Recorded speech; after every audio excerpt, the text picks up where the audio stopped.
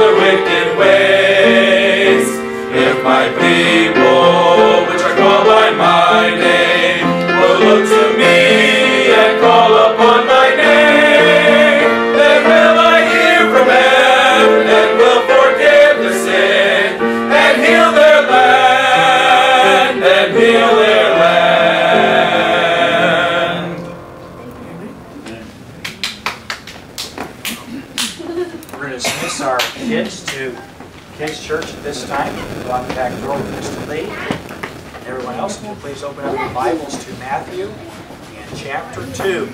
Matthew chapter 2.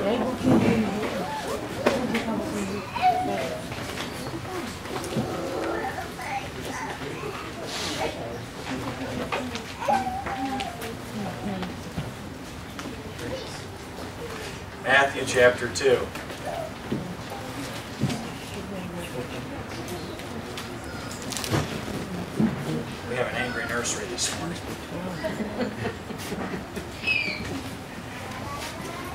Somebody close the rest of them in. They're gone. Now we can have fun. You know that's what they do. They go back there and have a good time. We need to like have somebody bring like a big bag of candy to adult church sometime, and then like have sing songs really really loud while they're in there, like and uh, have some fun ourselves. How many of y'all wish you were a kid and got to go to kids church? Did anybody here have kids church when you were a kid? There was no such thing when I was a kid. Hmm. It did not exist. You had kids church, Stacy? Yeah. I know the church you went to. Yeah, you were lucky. You're very fortunate. There was no such thing as kids church when I was a kid. And there was no such thing as nice adults when I was a kid either, as far as I can remember. I don't remember like any happy Sunday school teachers that liked children. I, I may be a little jaded in my memory, but it just seems that way. So they've got it made back there. But seriously, you be praying for those kids. I know Mrs. Price was dealing with one about salvation after Sunday school this morning. And uh, be praying that as those kids hear the gospel preached. There are some new ones that are there today that have not yet heard the gospel And there are some that are waiting on their parents to get permission for them to be baptized. And so you be praying for the youth in our church. Literally, that is not, it's not just saying it to say that that, that is our future. Uh, I heard, I think it was, I read an article by someone that said that within 15 years, they're saying that 15% of Americans will profess to be Christians or to be evangelical Christians. That's the direction that we're going. I don't, I don't personally buy into that. I don't believe that. What I'm seeing right now is that people are getting saved all over the place. And everybody I meet that gets saved says, I don't really think anybody's getting saved. I'm the only one I know. But I'm just telling you, I'm meeting all kinds of people that are coming to know Jesus. And it's, it's one of those things where it is transformational. God is saving and transforming lives. And people are turning to Jesus. And that's the hope of our nation. But my friend, you cannot legislate Christianity more than Constantine could. He got him a good Catholic church started, but he didn't make anybody a believer. And the fact of the matter is, is that as believers, if we think that we're going to elect politicians that are going to make our country a moral country or turn us back to Jesus, we're greatly mistaken. But I'll tell you what will change our nation and what will change our churches is if God's people will humble themselves and pray and seek His face. And we need that. We've been studying in Nehemiah on Wednesday nights and been seeing that it only takes one person to have an individual revival. All it takes is one person that just acknowledges the, and confesses and turns to Jesus and accepts the responsibility for living for Christ like a Nehemiah did and it literally affect and change an entire nation and change our churches. We need revival, my friend. If I were to ask every person what's wrong with the church today, you could point out all kinds of symptoms. But ultimately what we need is to turn to the Lord Jesus. God is so much of an afterthought in the life of the average Christian today. He is so much of an afterthought when it comes to priorities and serving. That, my friend, the only thing that will change is if, if we have that renewed turning again to Jesus and loving God with all our hearts. Well, here we are in Matthew chapter 2, and we have begun a study in Matthew. Now, I, in some ways, wish that the Holy Spirit had led for us to be in this area when the calendar year began uh, in December, but we're just a little bit early, and here we are in Matthew 2. Hey, good to see you, Obed.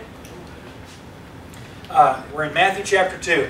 And so here we are today, and I want to look at just the theme that we'll find in this passage of Scripture that we're going to see as we preach through Matthew. So here we are, and I want to read verses 1 through 3, and then I would also like to read verse... Um, oh, I made a mistake. Yeah, verses 1 through 3, and then uh, I want to read verses 7 through 10. Now when Jesus was born in Bethlehem of Judea in the days of Herod the king, behold, there came wise men from the east to Jerusalem, saying, Where is he that is born King of the Jews? For we have seen his star in the east, and are come to worship him. Now pay attention verse 3. When Herod the king had heard all these things, he was troubled. Wow. And all Jerusalem with him.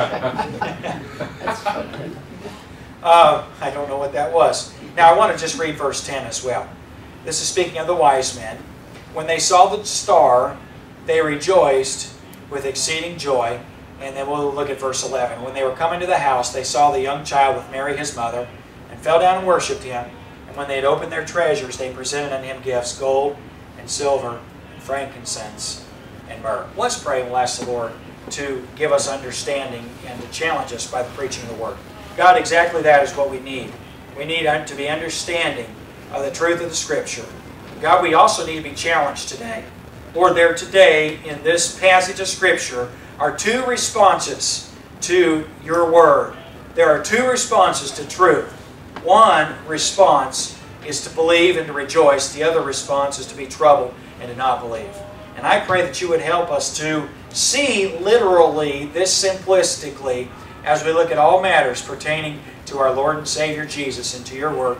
We pray in Jesus' name. Amen. I've learned a long time ago, I don't know when it was exactly that occurred to me, but I learned a long time ago that when it comes to believing, facts have very little to do with anything. Isn't it true? I mean, the thing is, is that what is factual is actually truth. And I'm not for, uh, for uh, in any means this morning saying that there's no such thing as truth or there, there are no exact facts. I'm just saying that facts have nothing to do with what people believe. Isn't it true? Uh, have you read the headlines lately? Uh, I love the, the phrase fake news. And uh, I, I'm not trying to be political this morning, I just think it's funny. And whenever somebody tells me something I disagree with, I just call them fake news. You're fake news. You know, it's a good answer for somebody. And uh, the, but the fact of the matter is, is that there is a lot of fake news. I mean, it's just on all sides. I was reading something the other day about our president, something that someone who didn't like the president wrote, and I thought, you know, I don't know if it was about Russia. The Russia thing is still being, you know, discussed, being talked about. It was about Russia, and it was somebody that was being interviewed, and they basically stated that they factually knew that the advisors of our president during the election had colluded with Russia, and it was a fact. And I thought, you know, if I wanted to believe that, I would. I mean, here's a guy who should know, who says that if people knew what he knew, they would know that the president colluded with Russia. And I thought, you know what? If I wanted to believe that, I would. I sure would. And I would sort, I would sort, man, I got some funny words today. I would cite that individual as my source and say, here's a guy that knows and he says. So it's a fact. But I was thinking, and if I didn't want, by the way, I don't know what to believe. To be honest with you, I just really don't know.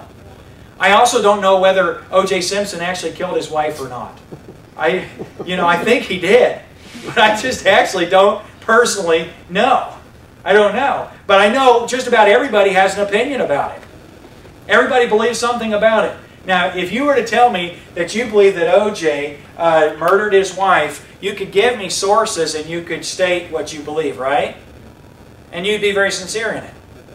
And if you believe that O.J. was innocent, you... Good try. I don't think anybody here believes he's innocent. you could give your reasons and your sources. I remember this. I remember being a rookie preacher. I was just out of Bible college. I was working as assistant pastor, and Dr. McClure had me teach the adult class. And I asked, how many of y'all know that O.J. Simpson is guilty in my Sunday school class? And I remember it was 100%. Everybody raised their hands. And I said, how do you know? And honestly, there was nothing that they knew that would have held up in a court of law. You could say, well, Pastor, there was evidence that was not, being, was not allowed in the court because of, and, you, and the fact of the matter is, is that the investigators were questionable. And so you couldn't, you didn't know what to, if you're honest about it, you really don't know whether he's guilty or innocent on the basis of what I could know and on the basis of what you could know. But almost everybody believes something, don't they? See, what I'm telling you is that facts have very little to do with what a person sincerely believes. I'm not saying there isn't truth, because the truth is, is he's either innocent or guilty. Right? And God knows and he knows, and that's the truth. But with regard to what truth is, usually our slight or our bent to believe a particular thing influences what we believe far more than the facts actually do.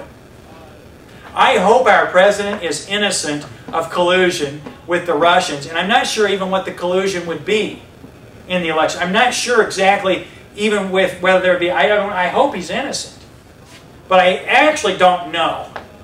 I really don't know. And uh, he doesn't have the kind of character where I'd say, based on his character, I know he's innocent. I'm not bashing our president today. I'm not trying to do that. I'm just saying I don't know. But I know people that believe very, very strongly that he's innocent. And I know people believe very, very strongly that he's guilty, and they have this, they're working with the same facts that I'm working with. And I don't know.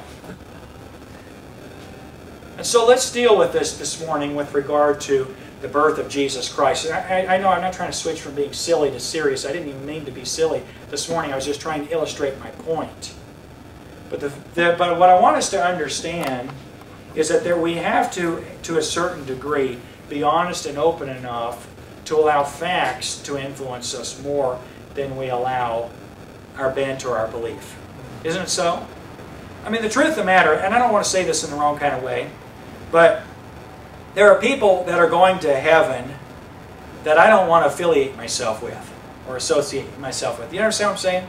I mean, there are some, I'm going to be honest with you, there are some people who, are, who believe that Jesus Christ is the Son of God, who have trusted Christ as their Savior, And I'm not talking about, you know, they've done anything terrible. I'm just talking about they got such a stinking attitude that I really just don't even want to be affiliated with them. And, you know, I tend to think that anybody that were to see them would not believe anything that they say on the basis of what the Scripture teaches simply because of the messenger. You understand what I'm saying? And uh, I don't want to be that way. And I think every one of us is guilty to some degree, at least from somebody's perspective of the same.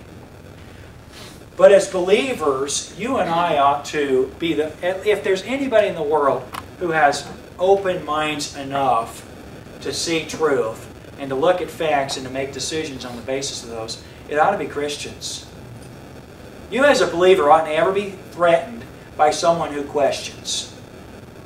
You know, I've seen it before. I have been in uh, classrooms, I've been in services where somebody's asked questions and I had the same question. And because the person asked the question didn't know, their response was to just kind of nuke the person who asked the question. Or say, what kind of a question is that? Now, sometimes I have to tell people that that's the wrong question. You know, there's not always a wrong answer. Sometimes there's a wrong question, right? There's, a, there's no right answer for the question. It's intended to be that way. Jesus was asked questions like that quite frequently, wasn't he? You know, should a man pay taxes to Caesar? There's no right answer to that question with the, for the audience that was there. You know, it's like the question, have you stopped beating your wife? There's no right answer to that question, is there? You know, I mean, the only right answer is wrong question. I've never beat my wife. So I have not stopped beating my wife, and I haven't started beating my wife. That's the answer. It's the wrong question. You understand what I'm saying? And a lot of times, unbelief asks the wrong question, and then when you feel as though you're forced, so you got to be articulate enough to say, well, there's no right answer to that question. It's a dishonest question. The question is not intended to, to find facts. The question is intended to discredit anybody who tries to answer it.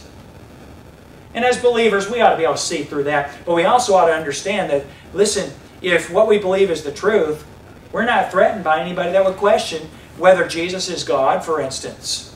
You know, a person who's lost, a person who is deciding whether or not they're going to believe in Jesus, ought to have answered with finality to them the question, is Jesus God? That's a valuable question. And if somebody questions and says, I don't see how Jesus could be God to you, you ought to open the Word of God and show them how. And that's actually something that's answered in the Word of God today. Another question that everybody ought to have is, how do I know the Bible is God's Word? How do I know I can trust or I can believe the Bible? You know, everything's conjecture if you believe that the Scripture has mistakes in it. It's a fact. You know, I don't, I don't want to beat a dead horse, but there's a reason that we use a copy of the Scripture in our church that reflects preservation. The reason we use the King James Version of the Scripture in our church is because it comes from the only text that believes that there aren't mistakes or that there aren't lost things in the Word of God. See, the Bible promises that God will preserve His Word. And if the Bible promises preservation and there are mistakes in it, then I can't trust God. So either it's true that I can trust God, either it's true that God preserved His Word, or everything that is a foundation for me to believe in is just a farce. And the fact that I'm trying to preach and tell you that there's such thing as this is right and this is wrong, and you ought to believe this and you shouldn't believe that, is just based on something entirely dishonest because I don't even believe the Word of God is, is flawless or that is preserved and that it is without error. You understand the importance of that? In other words, we, we have to settle those matters or everything we believe is just up for debate. And then it really comes a debate of which, what would you prefer to believe? What people do you prefer to align yourselves with? See, we don't, we don't believe like that, do we? We want to know what truth is, and we want to align ourselves with whom? I hope you know this. God. God. I hope everybody's sleeping on that. okay. Yes, we want to find out what truth is. We know God's a source of truth, and we want to align ourselves with God. And when everybody lines himself up with God, we'll line up with each other, but it, we want to know the facts. Okay, so the last several weeks that we've been in Matthew, we've looked particularly at the kind of people that God uses, and specifically one of the things uh, that we began with was just looking in the book of the generation, or the generations of Jesus Christ, and we looked at the people that were included in that promise, Jesus Christ being the Messiah, the promised Savior, born of a virgin, which was promised to Eve. Do you remember in Genesis 3? That Eve was promised that the seed of the woman is going to be the one that bruises the serpent's head. That's a prophecy of the virgin birth and of the Messiah. The seed comes from the man, not from the woman. So it's a prophecy of a miraculous birth.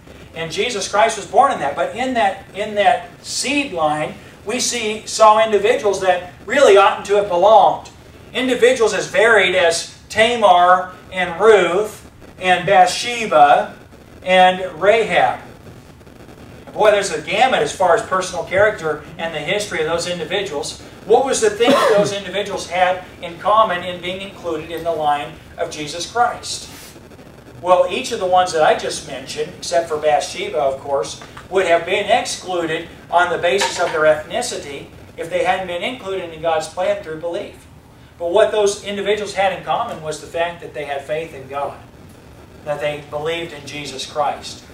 And my friend, I think that we find in the genealogies of the Lord Jesus Himself one of the most wonderful promises, and that's that God can use anybody.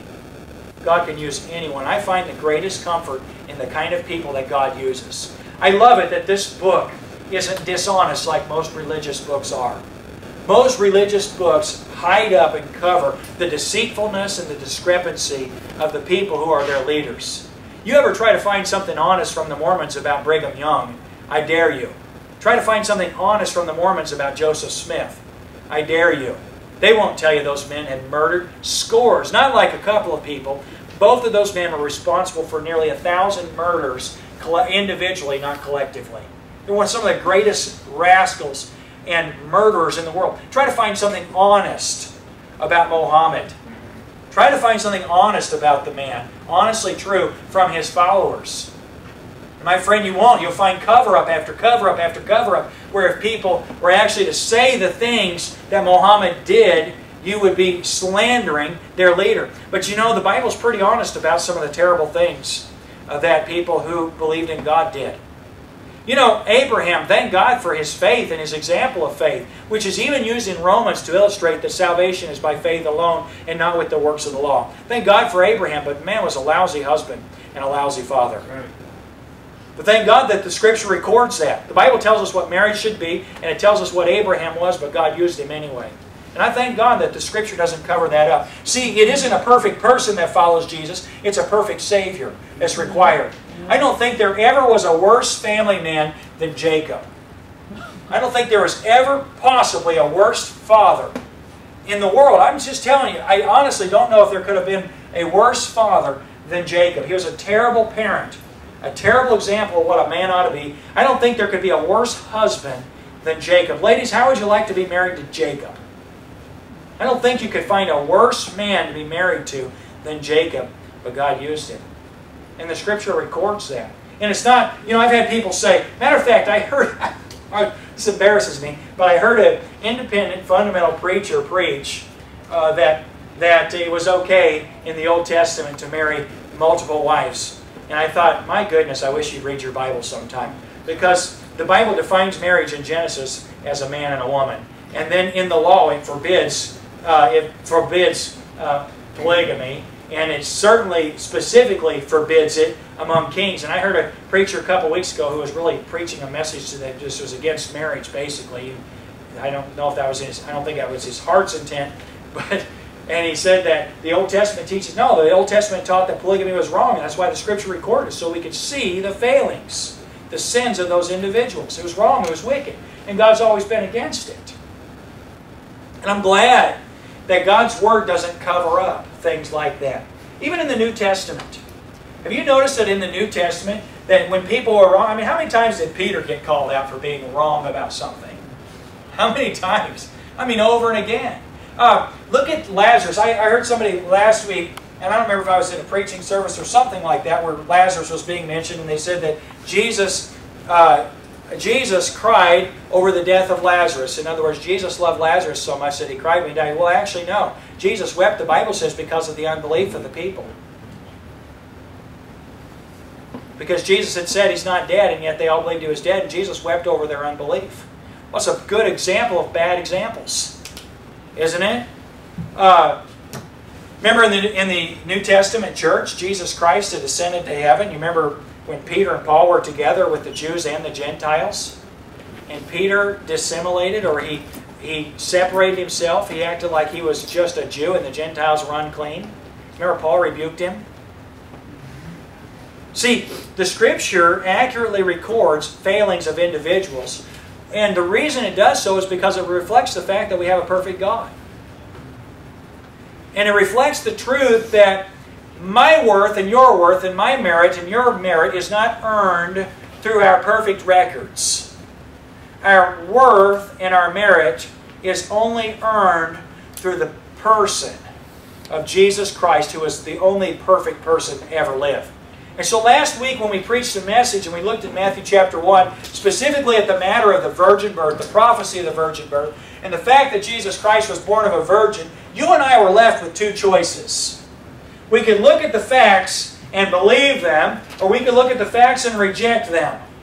But the truth is, is that God's Word prophesied that Jesus Christ would be born of a virgin, and Jesus Christ could not have been God, he could not have even been a good person, unless he, the virgin birth was the truth.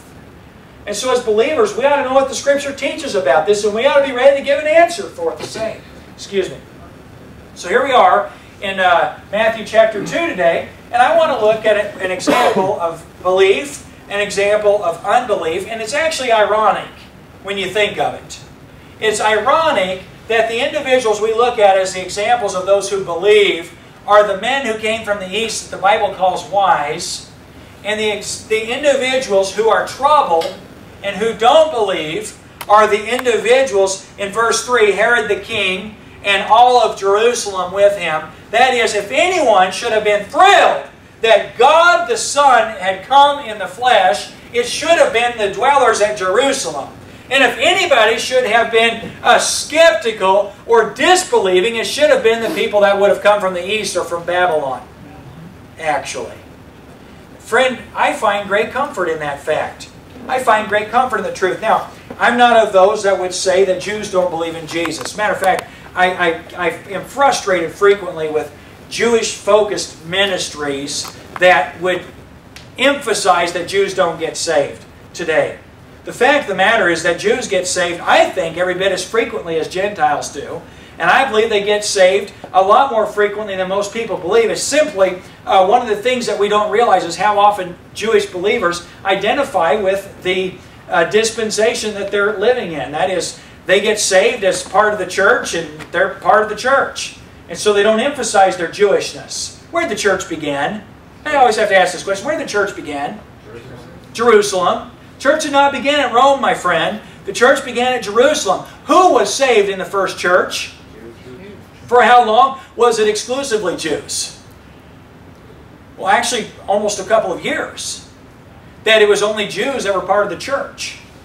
So for anyone that believes that the church belongs somewhere in Russia or somewhere in Germany or uh, somewhere in Italy, and that's the that's where the church's hub or its home is, my friend, read the scriptures sometime. Find out where the church came from. If there were that kind of a universal church, then my friend, it would be at Jerusalem. That's where the church began at. That's where it had its foundation at. Not one of these other locations. They weren't Italians that started the church. They were mm-hmm. Jews. I'm not being silly. I'm being serious about this because it's really a, it's a serious discrepancy that like millions of people just overlook as though it were nothing. It's a big deal, isn't it? Okay, so the first people that got saved were Jews. So let me ask you a question. How receptive are Jews to the gospel? Well, it's an, it's an individual thing. It's an individual thing. I found that when I preach the gospel to Jews, that there is uh, there are two responses that I get. They either reject it or they receive it. But I found both. I remember the first time that uh, I think the first, no, it wasn't the first time I led a Jewish person, Lord, because back in Kansas, I led an old man on his deathbed to the Lord who was Jewish. But I remember the first time in southeast Florida, where there's a lot of Jewish population, uh, to the Lord. I remember we were at the mall, I, we used to take, in our youth group, we would take our teenagers to different malls, and I would just cut them loose, our teenagers, and we'd have like maybe 2,000 tracts. And if you take like 30 kids and give them each 100 tracts, you can just blow through them all, and then security would come and say, hey, you can't be doing that. We'd say, oh, and we'd leave.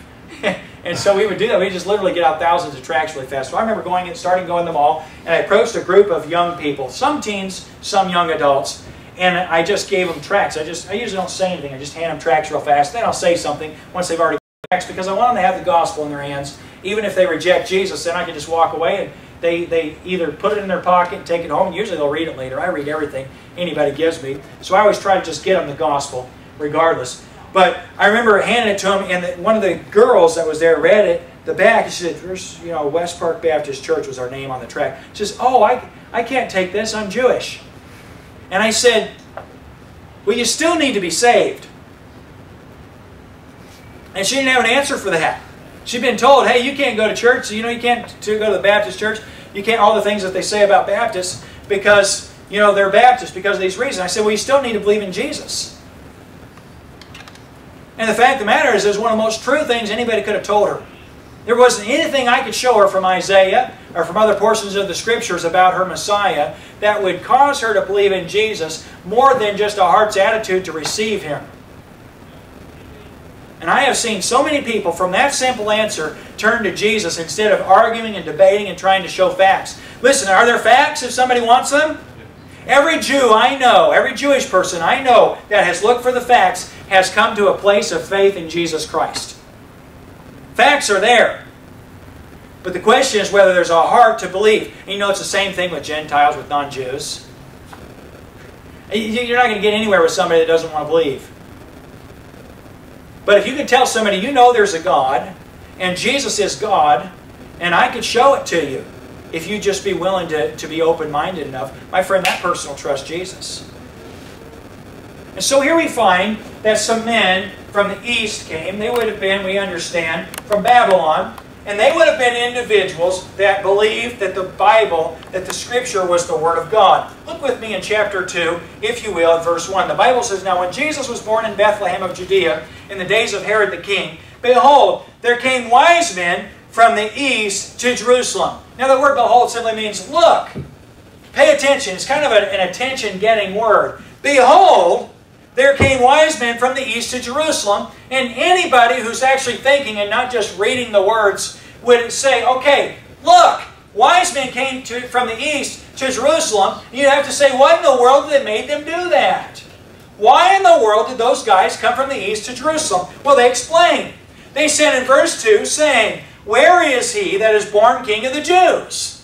Okay, so they came to see the king of the Jews. In our youth group right now, we're preaching through Daniel. We're looking at a lot of things in Daniel, and we've been looking actually at Nebuchadnezzar, who said about God that he was, he was, he was saying in his praise to God that his kingdom is an everlasting kingdom and his dominion is forever. That's what Nebuchadnezzar said about God. Nebuchadnezzar would have gotten introduced to God by the only truth-telling wise man in his nation, Daniel. And Daniel introduced him to God and proved that God was God through the visions uh, that Nebuchadnezzar had that Daniel was able to just show him the answer to. And when Nebuchadnezzar was humbled by God, he came to the place that he said, The God, Daniel, and he used in the phrase, small g, there's no gods, or there are no gods like Daniel's. But Nebuchadnezzar acknowledged that Daniel's God was God. He was the God. He was the only true living God. And he praised and glorified him as a non-Jew. Daniel was some something uh, in Babylon. In every kingdom, both in the Babylonian kingdom and the Medo-Persian Empire to follow that, Daniel was noted. He was notable because of what? Because his God was real. And Daniel was given at the end of the 70-year captivity, if you were to read Daniel 9, we've preached through it. If you want to find a message we preached recently on it, would have been this last, uh, I think, December or January when we were preaching on prophecies of the Messiah. We preached through Daniel chapter 9 and showed how the Scripture explicitly showed the number of years until Christ would come in Daniel chapter 9. You can find that on YouTube. If you want to know how to find it on YouTube, Tony could help you with it. So that's Tony, and he could help you if you want to find answers uh, that I, I, don't have time to preach that this morning, and you should be glad. Um, so in Daniel chapter 9, the scripture very, very explicitly says that there would be 70 weeks minus one week in which God is going to work. And that the 70 years of captivity, which Daniel believed the scripture was prophesied in Jeremiah, that Israel would be in captivity for 70 years. When that came to the end, then Daniel was told there are 70 more weeks minus one, and it came down to 490 years.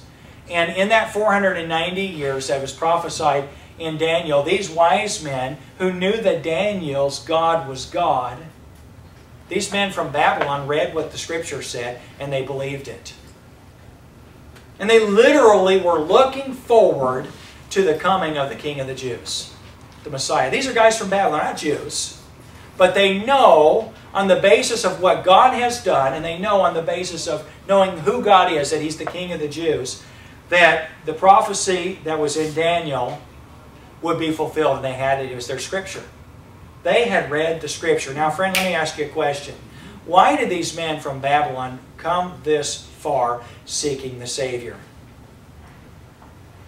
The simple answer is to, that they wanted to. In other words, these were men that were seeking to worship God. You say, well, Pastor, I mean, Daniel had really impressed them. And I'm just telling you, Daniel, Daniel had died some 400 years before this. He'd been off the scene for 400 years. They weren't personal acquaintances of Daniel, but they were impressed by God. They had a knowledge of God in their hearts, and as they sought God, they looked for truth. And when they looked for truth, they found God's Word. And when they found God's Word, they believed it. And when they believed it, they acted on what they believed, and they recognized it's time for the king to come. Look, there's a star in the east. And they went to find it. And where did they go? Well, they went to the people who should have believed. And they said, Where's the king of the Jews? We've seen his star in the east. Now, it's interesting that the star from the east had been there before Christ was, or before the wise men came. They came because they saw the star. But it's interesting that the people who were where the star was, it hadn't occurred to them that anything at all was going on. In other words, the people at Jerusalem were troubled because the wise men came, but the star's appearance hadn't meant anything to them at all up to that point. Why? Because they weren't looking for a Savior. You know, you'll be surprised at what God is doing in individuals' lives. Maybe you wouldn't if you know what God's doing in your life. But when you see what God is doing in individuals' lives to point them to Him, it isn't surprising that people are looking to Him come to Him.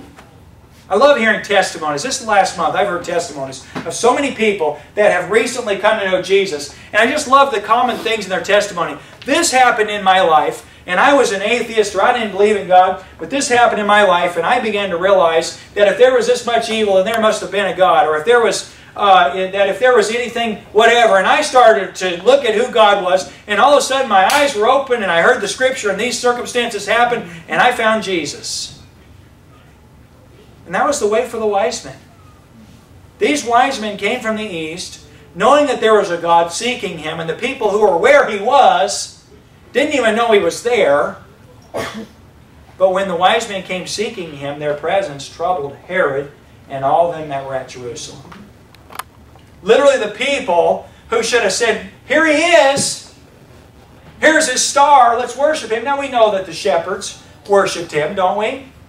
We know that, uh, that when he went into the temple after the eight days of purification, that those in the temple worshipped him. We, we recognize that. We're not saying nobody recognized God. But my friend, it is surprising, isn't it, that those that are near and those that ought to know are not necessarily the ones who believe. And it has nothing to do with the facts. It has everything to do with the circumstances in your life or your response to the circumstances more so. So, Herod's response or the response of the unbelievers. Now, I want to point this out lest we miss this important point. Unbelief does not happen because the facts are insufficient. Did you hear me this morning? Unbelief does not happen because the facts are insufficient. In other words, I've had people say something like this many times to me. I wish I could believe, but I just can't. You ever had somebody say something like that? Well, you know, that just sounds so good. It's too good to be true. I wish I could believe. In other words, you're an idiot and you have a very, very small brain. And, uh, you know, you just, you, you believe fairy tales easily and I just can't. I'm too intelligent to just believe something. Well, I'll just be honest with you. The truth of the matter is, is that anybody who wants to believe can. So it's a very, again, it's one of those questions or one of those statements that's not honest. It's not an honest thing to say when you say, if I could believe, I would. No, if you could believe, you would, if, if you would believe, you could. That's the right way to phrase it. Not if I could, I would. If you would, you could. That's the truth. That's the reality of it. Many times people want to think somehow in their mind that God is going to excuse their arrogance in the claim that they're too intelligent to believe in Him, when the reverse is actually true. Okay, so look at this. In verse 3, when Herod the king had heard these things, he was troubled in all Jerusalem with him. What troubled Herod? The birth of Jesus Christ. See, the thing that upset Herod was that Jesus Christ was born. Who was Jesus? He was God's son born of a virgin. In other words, Herod, we know, did not believe in Jesus. But what we think sometimes about Herod was that Herod did not believe in the existence of Jesus. Well, let's actually look at Herod. Uh, in verse 12, the Bible says, being warned, to speaking of, of the wise men, being warned of God in a dream that they should not return to Herod, they departed in their own country, into their own country another way. And when they were departed, behold, the angel of the Lord appeared to Joseph in a dream, saying, Arise and take the young child and his mother, and flee into Egypt, for Herod will seek the young child to destroy him. When he arose, he took the young child and his mother by night, and departed into Egypt, and was there until the death of Herod, that it might be fulfilled that it, which was spoken of the prophet, saying, Out of Egypt have I called my son. Another message, but Hosea 11.1 is the prophecy of the Scripture, and there are individuals who don't want to believe that Hosea 1, 11.1 is a prophecy of Christ as well as a historical reference, but it is. But verse 16, notice, Then Herod, when he saw that he was mocked of the wise men, was exceeding wroth, and sent forth, and slew all the children that were in Bethlehem, and all the coast thereof, from two years old and under, according to the time which he had diligently inquired of the wise men. Now here's the question. Did Herod know when Jesus should be born? Yes, how did he know? Because he inquired. Yeah, he asked the wise men and they showed him the scripture. So on what authority that did Herod know that Christ had been born? Scripture. The scripture. So did Herod believe that the scripture was inspired in the Word of God? Yeah. Did Herod trust Jesus for his Savior? No. No, he did not. My friend, what you do with Jesus has nothing to do with the facts. Whether you accept or reject Jesus is exactly the same as Herod. Herod knew for a fact that the Scripture said that Christ would be born, and he believed the fact of it enough that he had every child in Bethlehem and in the coast of Bethlehem under the age of two years put to death. And in doing so, he, he fulfilled the prophecy of the Scripture that be weeping and wailing at the birth of Christ. He was instrumental in fulfilling prophecies about Jesus because he believed what the Scripture said about the birth of Christ and because he acted on his unbelief in the person of Christ. And I want to say this morning that there may be in this place individuals who believe in the facts with a far friendlier with a far friendlier consequence. In other words, I've met people that believe Jesus is God, but they've never believed in Jesus as their Savior. And my friend, those things are every bit the same as Herod believing in God and not believing in Jesus as his Savior. See, factually, practically speaking, Herod knew that Jesus was God, and his actions proved it. You know, there are individuals who are lost as can be that believe that Jesus is God, and their actions prove it as well. And yet, for the very same reasons, you may say, well, that's very sinister of Herod. Well, Herod was, of course, threatened, was he not, by Jesus?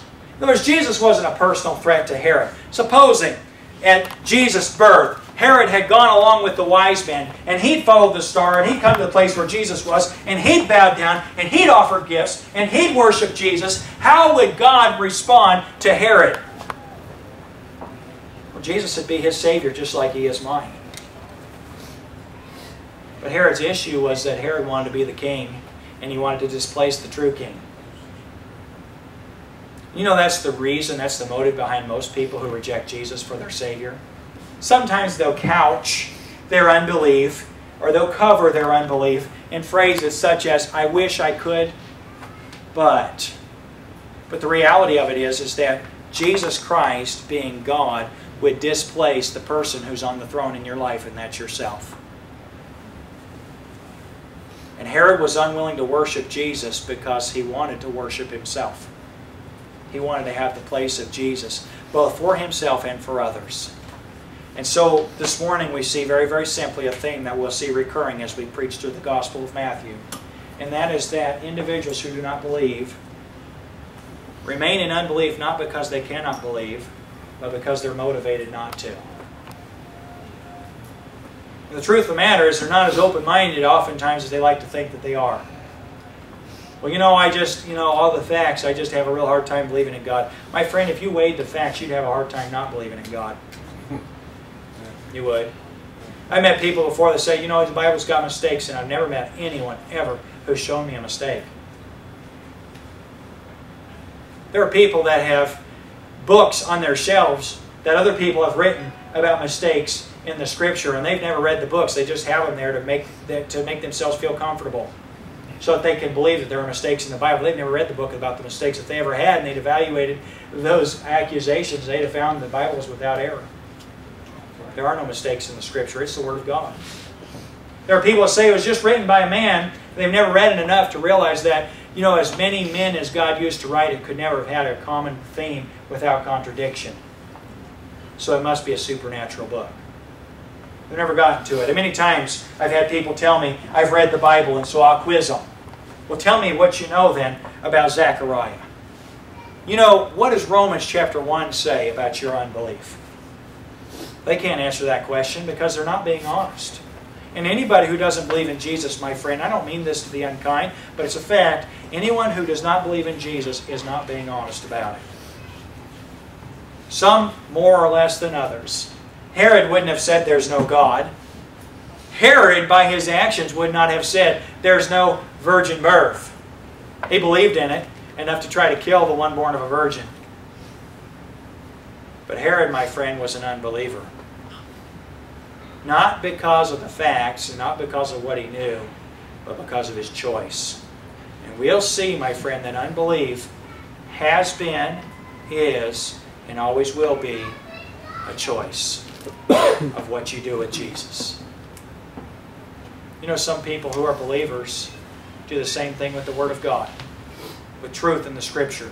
I don't know how many times I've showed people plainly what the Scripture says, and they'll say things like, well, you have to understand that was because of the culture of the day that God said that. No, God said it because there is no culture with God. See, God supersedes culture, doesn't He?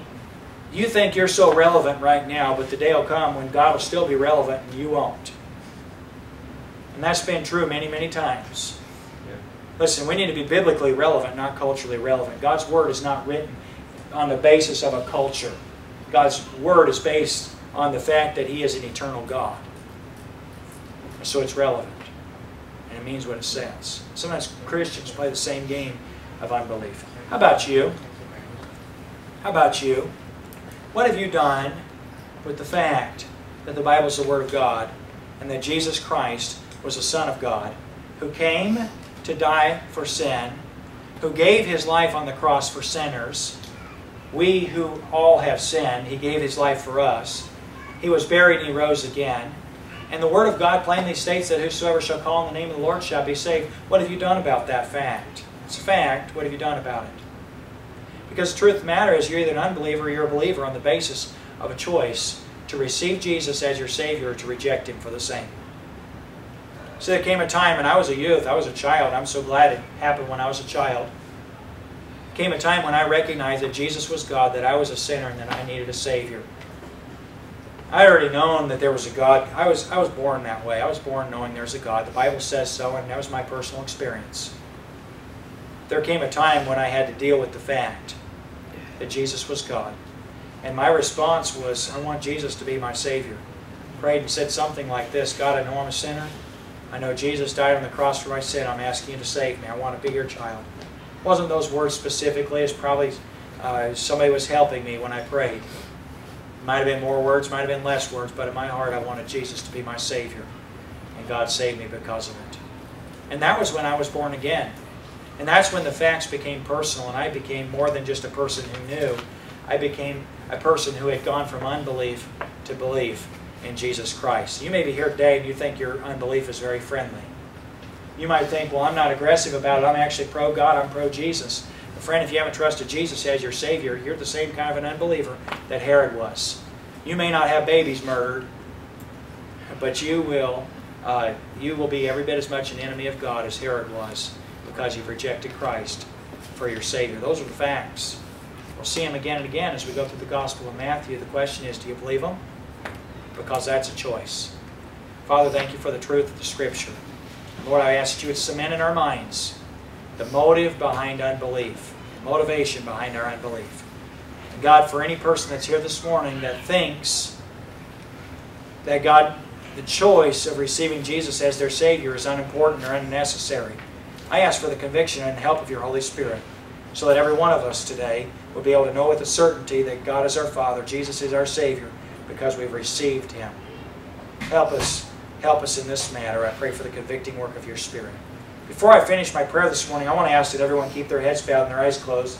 And I would like to have a personal, private time with every person here.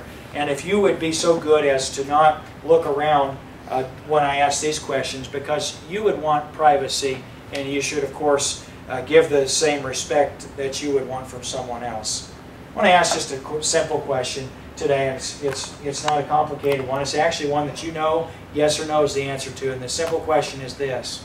Has there been a time when you've received Christ as your Savior? Has there been a time when you've received Jesus as your Savior? If you'd say, you know, Pastor, I could tell you when I was born again, and I know it's a fact that I received Jesus as my Savior, you just slip your hand up just so I could see it. Pastor, I know for sure I've trusted Jesus as my Savior. Okay, just slip your hands back down. Okay, if you'd be here this morning and you'd say, Pastor, at the very least, there's a great deal of uncertainty in my life. I do not know for sure that I am any different than Herod and those at Jerusalem who are troubled by the birth of Christ. Oh, I'm for Jesus.